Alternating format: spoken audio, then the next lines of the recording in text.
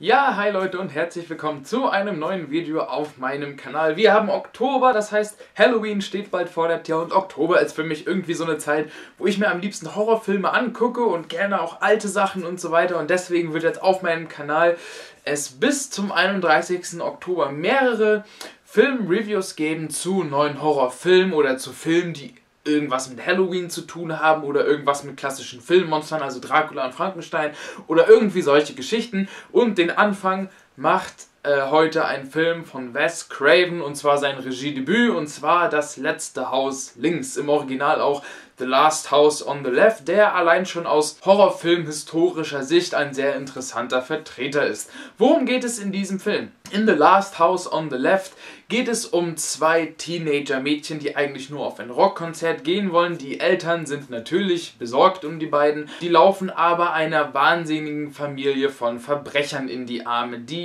alles Schwerverbrecher sind, die anscheinend schon sexuelle Straftaten begangen haben und Schlimmeres. Den laufen sie in die Arme und naja, was man von dem Film halt erwartet. Es passiert nichts Gutes daraufhin. Sie werden von denen ziemlich gedemütigt und verletzt und ich will gar nicht zu viel spoilern für Leute, die den Film noch nicht gesehen haben, auch wenn das Ding jetzt schon an die 40 Jahre alt ist mittlerweile. The Last House on the Left. Wie gesagt, das Regiedebüt von damals von Wes Craven in Amerika 1973 erschienen. Und Wes Craven hat ja sehr, sehr viel getan für die heutigen Horrorfilme. Einmal halt The Last House on the Left, bei dem ich gleich so ein bisschen erzählen werde, warum der relevant ist für die Zeit der späteren Horrorfilme. Dann natürlich sowas wie Nightmare on Elm Street, was damals unglaublich innovativ war. The Hills Have Eyes davor noch, was so diese ganze Backwood-Slasher-Ära irgendwie eingeläutet hat. Und dann natürlich Scream, womit er das Horrorgenre dann nochmal irgendwie revolutioniert hat. Also Wes Craven hat wirklich sehr, sehr viel getan. Rest in Peace ist ja, ich glaube, letztes Jahr gestorben. Genau, aber The Last House on the Left. Was gibt es Interessantes zu diesem Film zu sagen? Dieser Film verbringt sehr, sehr viel Zeit mit den Verbrechern, mit den Schwerverbrechern in diesem Film, was irgendwo der Wegbereiter war für solche Filme wie The Devil's Rejects und da deswegen auch für Texas Chainsaw Massacre. Also man sieht gerade bei The Devil's Rejects von Rob Zombie eindeutig, wie viele Szenen irgendwie anscheinend inspiriert sind von The Last House on the Left. Von Szenen, in denen wir sehr, sehr viel Zeit mit diesen Schwerverbrechern verbringen und sehen, wie die so ticken klicken und was die so machen. Ähm, genau, da muss ich sehr, sehr an The Devil's Rejects denken an vielen Stellen. Und The Devil's Reject ist natürlich auch inspiriert, sehr, sehr stark von Texas Chainsaw Massacre, sowie halt auch aus der 1000 Leichen. Und Texas Chainsaw Massacre scheint auch viele seiner Wurzeln zu haben bei The Last House on the Left. Da gibt es am Ende zum Beispiel eine Szene mit einer Kettensäge, wo ich mir dachte, okay, ja, das hat wahrscheinlich Toby Hooper auch gesehen und dachte ich, das ist cool, das mache ich dann auch in meinem Film. Also viele Parallelen so und ich glaube, da war das letzte Haus links irgendwo ein großer Wegbereiter für diese Art von Film, für diese Exploitation-Filme und gerade auch für solche Sachen wie die Rape and Revenge Revenge-Filme, zum Beispiel wie Ich spuck auf dein Grab, also I Spit on Your Grave, wovon es dann ja auch das Remake gab und so weiter. Weil dieser Film hat sehr, sehr viele ähnliche Thematiken und Szenen, wie die Mädels dann vergewaltigt werden und verletzt und so weiter. Und das ist zwar kein direkter Rape and Revenge Film, den wir hier haben, aber der geht thematisch auf jeden Fall sehr, sehr stark so in diese Richtung. Jetzt ist allerdings die Frage, ist The Last House on the Left ein guter Film?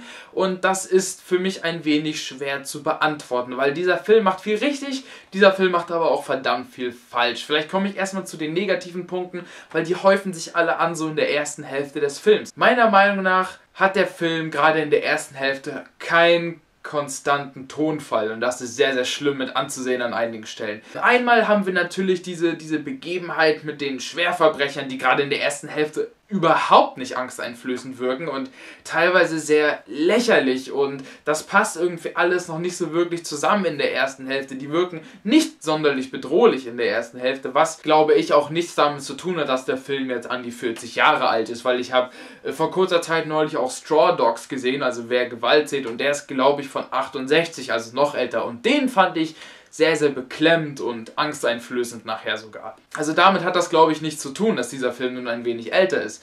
Dieser Film wirkt einfach nicht besonders gut inszeniert in seiner ersten Hälfte. Und gerade im Vergleich zur ersten Hälfte wirkt der Film am Anfang so, als wäre er von einem ganz anderen Regisseur gedreht worden. Gerade in der ersten Hälfte gibt es auch sehr, sehr viele Szenen mit viel unfreiwilliger Komik, wo ich mir so dachte, oh Gott, nee, ist das jetzt euer Ernst? Und dann gibt es noch einen Subplot in diesem Film mit zwei Polizisten, die einfach mal die dümmsten Polizisten der Welt sind wo es dann auch viele Szenen gibt, die auf Comedy spielen. Das wechselt sich dann zum Teil ab mit Szenen, wie die beiden Mädels vergewaltigt werden. Und da dachte ich mir, nee, das passt vom Ton irgendwie so gar nicht zusammen.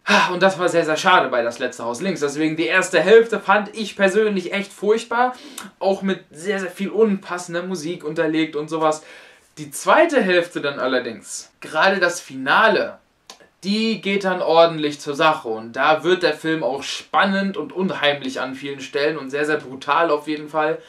Ähm, und da geht es dann halt zur Sache und da kann der Film dann überzeugen, aber man muss sich halt erst diese erste Hälfte durchschleppen wirklich, bis man dann zum guten Part kommt in dem Film, wo es dann auch ordentlich zur Sache geht, wo es dann auch etwas brutaler wird. Aus heutiger Sicht ist das zwar nichts Besonderes mehr, aber damals glaube ich, ging der Film schon ziemlich an die Nieren. Damals war das, glaube ich, schon eine krasse Gore-Palette, die da so geliefert wurde. Also das letzte Haus links ist, finde ich, ziemlich 50-50. Die erste Hälfte ist ziemlich schlimm mit anzugucken. Für mich persönlich die zweite Hälfte ist dann sehr, sehr gut.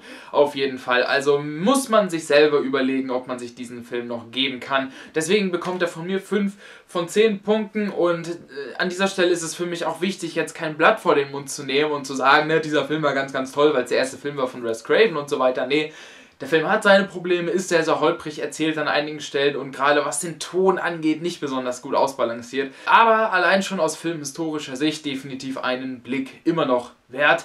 Das war's mit meiner Meinung zu Das letzte Haus links von Wes Craven. Was haltet ihr von dem Film? Schreibt unten in die Kommentare, was ihr von dem Film haltet und was ist vielleicht ein guter Vertreter für euch des Rape and Revenge Genres. So denn, das war's von mir. Macht's gut, wir sehen uns in der nächsten Review und dann sage ich bis dann.